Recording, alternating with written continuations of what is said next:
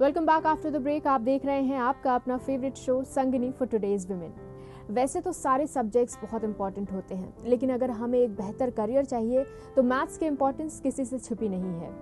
जितना ज़्यादा मैथ्स की इंपॉर्टेंस बढ़ती जा रही है, उतना ही ज़्यादा बच्चों के मन में मैथ्स को लेकर फियर भी बढ़ता जा रहा है। तो कैसे इस फेयर से टैकल करें और कैसे इसको सब्साइड करने में पेरेंट्स बच्चों की हेल्प कर सकते हैं? इसी बारे में आज हम बात करने वाले हैं हमारे life expert child psychiatrist doctor Aleem Siddiqui से। Doctor Aleem welcome to our show thank you आज हम मैथ्स के फेयर के बारे में बात करने वाले हैं और जैसे ही मैंने बात की कि मैथ्स की इंपॉर्टेंस जितनी बढ़ती जा रही है उतना ज़्यादा इसको लेकर फेयर भी बढ़ता जा रहा है। कहा जाता है मैथ्स सिर्फ़ कैलकुलेशन का खेल होता है लेकिन ये जो खेल है ये काफ़ी ट्रिकी होता है और बच्चों में एक डर पैदा करता है। क्यों बच्चे मैथ्स से डरने लगे हैं? बच्चे डरने इसलिए लगे हैं कि एक तो इंपॉर्टेंट चीज़ है जैसे आपने बताया कि पेरेंट्स को लगता है बहुत इंपॉर्टेंट है। हम्म। जब बहुत इंपॉर्टेंट है तो हमारा बच्चा उसमें सबसे बढ़िया रहे एक्सेल करे। बिल्कुल। इसकी इम्पोर्टेंस एकेडमिक्स में एग्ज़ाम में स्कूल में क्या नंबर मिल रहे हैं उससे है। आगे चल के लाइफ में कंपटीशन है वहाँ पे आना है। कंपटीशन नहीं भी दे रहे हैं तो नॉर्मल आपके जो लाइफ है उसमें मैथ्स का यूज़ है। हम्म। तो इसलिए इंपॉर्टेंट है। अब समस्या ये होती है कि मान लीजिए पेरेंट्स खुद ही उस सब्जेक्ट में वीक रहे हैं। वो ये चाहते हैं कि मेरी जो कमियाँ थी मेरे बच्चे में ना आए। हम्म। उसको ओवर कंपनसेट करने के लिए बच्चों को प्रेशराइज करने लगते हैं। जब आपने खूब प्रेशराइज कर दिया तो बच्चा कहेगा कि ये पता नहीं कौन सी मुसीबत थी जो हमारे ऊपर आ गई। तो उस तरह से मैथ्स का एक वो हवा बनने लगता है। हम्म। ज़रा सी परफॉर्मेंस गड़बड़ हुई तो उस पर आपने ज़्यादा उसको डांटना शुरू कर दिया या क्रिटिकल कमेंट ज़्यादा हो गए। तो वहाँ से फिर उसके अंदर मैथ्स का फोबिया या इस तरह की सिचुएशन स्टार्ट हो सकती है जहाँ पे वो डिसलाइक करता है और एकेडमिक वहाँ पे डिक्लाइन आ सकता है। जी तो कहीं ना कहीं जैसे कहा जाता है कि किसी चीज़ का डर अच्छा होता है ताकि वो हमारे जो परफॉर्मेंस है उसको और भी ज़्यादा इम्प्रूव कर सके। लेकिन मैथ्स के डर की जहाँ तक बात करें तो यहाँ पर डर सिर्फ़ डर नहीं रह जाता। बच्चे मैथ्स से भागने भी लगते हैं। ऐसी कंडीशन में कहाँ खराबी आ जाती है? डर थोड़ा डर बिल्कुल ठीक है। जब थोड़ा डर होगा तभी तो बच्चा परफॉर्म करेगा या कोई भी करेगा।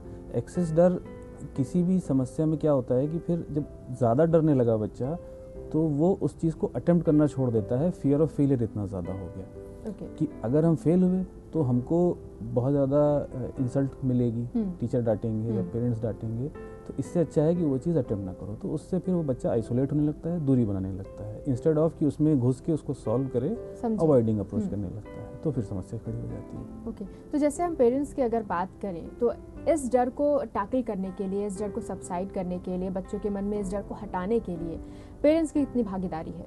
पेरेंट्स और टीचर का कोऑर्डिनेशन स्कूल गोइंग चिल्ड्रन में ये सबसे इम्पोर्टेंट हो गया। ओके। पेरेंट्स अपने बच्चे को इंडिविजुअली देख रहे हैं टीचर ग्रुप में देख रहा है। हम्म। तो ये सोच लेना कि स्कूल भेज दिया अच्छे स्कूल में दाखिला करा दिया और अब सब ठीक हो जाएगा ऐसा नहीं है। आप अपने बच्चे पे ध्यान दीजिए। अगर किसी सब्जेक्ट में मैथ्स हो या कोई भी सब्जेक्ट हो आपको प्रॉब्लम आ रही है तो आप जाके अपने बच्चे के टीचर से मिलें। कोई भी रिस्पॉन्सिबल टीचर इस तरह की चीज़ों के लिए बहुत ही रिसेप्टिव होगा। जब okay.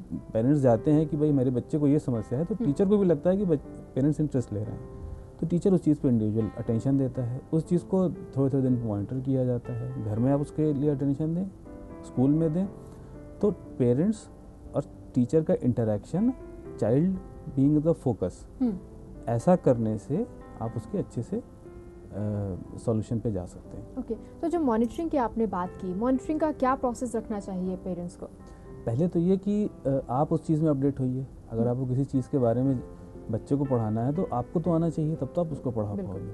तो अगर इन केस आपकी मैथ्स वीक है तो बच्चे के भले के लिए आप कम से कम कुछ जो बेसिक चीज़ें हैं वो जाके उसको ब्रशअप करिए कॉन्सेप्ट को उसको खुद पढ़िए फिर बच्चे को पढ़ाइए। इन केस ऐसा संभव नहीं हो पा रहा है तो कोई एक ऐसा पर्सन ढूंढा जाए जो मेंटर हो या बच्चे को इस चीज़ में गाइड कर सके तो ये कोई ट्यूटर हो सकता है टीचर हम्म। हो सकता है कोई घर का बड़ा बच्चा हो सकता है कोई पड़ोसी हो सकता है जो बच्चे को इस चीज़ के लिए गाइड कर सके ओके okay.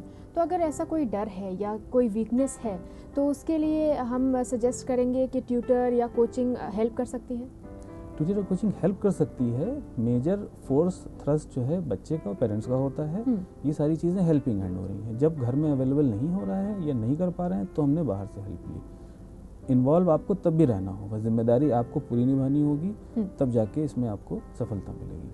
Okay okay. तो ये हमने बात की मॉनिटरिंग की लेकिन कई बार ऐसा भी होता है ऐसी सिचुएशन भी आती है कि बच्चे का इंटरेस्ट नहीं होता है या फिर बच्चा तमाम कोशिशों के बावजूद भी उस चीज़ को समझ नहीं पा रहा है मैथ्स को समझ नहीं पा रहा है कैलकुलेशंस नहीं कर पा रहा है ऐसी सिचुएशन में पेरेंट्स को क्या करना चाहिए इसमें दो चीज़ अलग करनी चाहिए एक तो बच्चे को समझ में आता है लेकिन वो इंटरेस्ट नहीं दिखा रहा है हम्म। दूसरा बच्चा कोशिश कर रहा है लेकिन फिर भी नहीं कर पा रहा है तो अगर हम पहली चीज़ को देखें कि बच्चे का इंटरेस्ट नहीं आ रहा है। Interest hmm. नहीं आ रहा है तो इंटरेस्ट कैसे जनरेट हो ये बच्चे को मैथ्स की इंपॉर्टेंस समझानी चाहिए।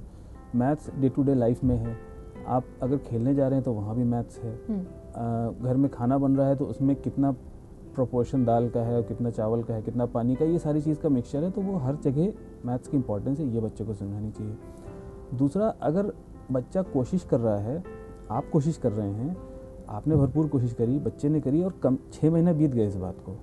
Six months of full remedial effort छः महीने तक आपने कोशिश करी प्रॉपर वे में उसके बाद भी आपको अगर उसमें इम्प्रूवमेंट नहीं लग रहा है तो इस तरह के केसेस में हम स्पेसिफिक लर्निंग डिसऑर्डर ये हम लोग सोचना शुरू करते हैं S L D relating to mathematics तो मे भी बच्चा इम्पेयर्ड है फुल फ्लेजेड मैथ्स के ऑपरेशन के लिए तो ऐसे बच्चों में फिर हम ये देखते हैं कि दूसरे एरिया ऑफ़ इंटरेस्ट क्या है दूसरे एरिया ऑफ़ एक्सपर्टीज़ क्या है वो बच्चा और किस क्षेत्र में अच्छा काम कर सकता है okay. तो भविष्य के लिए उसी क्षेत्र में बच्चे को प्रमोट करते हैं कि करियर उस दिशा में जाए ना कि मैथ्स एज अ करियर या maths as a basis of important career हो ओके okay. इस डर को घटाने के लिए इसको कम करने के लिए पेरेंट्स क्या कर सकते हैं पेरेंट्स ये करें कि सबसे पहले अपना डर घटाएँ हम्म। आप रिलैक्स हुए घर का जो एटमॉस्फेयर है वो एक सपोर्टिव एटमॉस्फेयर हो ना कि हार्श एनवायरनमेंट कि बच्चे ने अगर बुरा परफॉर्म किया है तो बच्चे को डांटना देखो पड़ोसी कितना अच्छा कर रहा है इस हम्म। तरह का व्यवहार जो है वो किसी भी तरह से हेल्प नहीं करने जा रहा है वो आपकी समस्या बढ़ाने जा रहा है। आज नहीं तो भविष्य में। तो सपोर्टिव एटमॉस्फेयर रखें। ऐसा एटमॉस्फेयर कि बच्चे को समस्या है तो वो समस्या लेके आपके पास आएगा ये सोच के कि मुझे यहाँ कुछ समाधान मिलना है हम्म। ना कि मुझे यहाँ डांट मार या पिटाई होना है। बिल्कुल। तो जब इस तरह का एटमोसफियर होगा तो बच्चा खुल के आएगा बच्चे का सेल्फ कॉन्फिडेंस बढ़ाएँ। ये बच्चे को ध्यान कराएँ कि मैथ्स एक पार्ट ऑफ़ लाइफ है। अगर आपको मैथ्स नहीं आती है तो आप बुरे बच्चे नहीं हो गए आप एक अच्छे बच्चे हैं जिसको मैथ्स नहीं आती है। आपके हम्म। अंदर बहुत सारी अच्छाइयाँ हैं। जिसको जिसको एक चीज़ नहीं आ रही थी मैथ्स नहीं आ रही थी इस पर हम लोग मिलकर कोशिश करेंगे। राधा देन कि तुम्हें मैथ्स नहीं आती है तुम बेकार हो निकम्मे हो या इस तरह का अप्रोच ओके तो अगर हम बात करें मेंटल शार्पनेस की तो बच्चों की मेंटल शार्पनेस बढ़ाने के लिए क्या कर सकते हैं? मेंटल शार्पनेस बनाने बढ़ाने के लिए कुछ तो जनरल चीज़ें जनरल। चीज़ जैसे कि जैसे कि अभी बोला कि healthy home atmosphere healthy parenting बच्चे को पता है कि भाई समस्या है तो पेरेंट्स के पास जा सकते हैं बिना किसी डर या खौफ के। दूसरा बच्चे की जनरल फ़िज़िकल हेल्थ ठीक हो खाने पीने का सिस्टम ठीक हो रेस्ट का सिस्टम ठीक हो बच्चे का ऑलराउंड डेवलपमेंट हो जिसमें कि play behaviour socialization academics relationship with others ये सारी चीज़ों का एक इंटीग्रेटेड डेवलपमेंट हो okay. विकास हो hmm. ये करना चाहिए कुछ चीज़ें होंगी जैसे एबकस क्लासेस अभी बहुत सारे होने लगी हैं उसमें मैथमेटिकल स्किल आपकी जनरेट होती है okay. आ, बहुत सारे कंप्यूटर पे अब गेम्स आते हैं एजुकेशनल सीडीज़ आती है कि आपने वो लगा दिया और बच्चा उसमें प्ले कर रहा है और hmm. सीख रहा है बहुत सारे कार्ड्स इस तरह के स्पेशली आते हैं कि कुछ नहीं तो बच्चा कम से कम जोड़ तो रहा है। या सबसे सिंपल आप सांप सीढ़ी ले लीजिए कि आपने पासा फेंका तो फिर आप जोड़ेंगे तभी तो आप आगे हम्म, बढ़ेंगे। या सांप ने काट लिया तो नीचे आ गए। हम्म। तो अब क्या करें? तो इस तरह की सिंपल टूल्स लेके बच्चे का इंटरेस्ट जनरेट करें। बच्चे को ये बताएँ कि मैथ्स एक पार्ट ऑफ़ लाइफ है। सिंपल छोटी छोटी चीज़ें हैं। जैसे आप खेलोगे अगर क्रिकेट में आप रन्स बनाओगे तो तभी तो आप स्कोर रख पाओगे जब आपको जोड़ घटाना आता हम्म। होगा। इस तरह से मैथ्स को एक लोड के बजाय एक पार्ट ऑफ़ लाइफ में कि उसको आप कोशिश करिए और कर ले जाएँगे आप उसको एक प्रोत्साहन दीजिए तो ज़्यादातर बच्चे कर ले जाते हैं इस चीज़ को। तो बिल्कुल सही कहा आपने मैथ्स को हमें पार्ट ऑफ़ लाइफ बनाना चाहिए क्योंकि मैथ्स हमारी लाइफ में एक बहुत मेजर रोल प्ले करता है और जो मैथ्स का फेयर है उसको कैसे पेरेंट्स टैकल कर सकते हैं बच्चों की हेल्प कर सकते हैं टैकल करने में इस बारे में आपने इतनी valuable information the. Thanks for being on the show thank you बस दो चीज़ें आप भी मत डरिए और बच्चे को भी मत डराइए। सब कुछ अच्छा अच्छा हो जाएगा।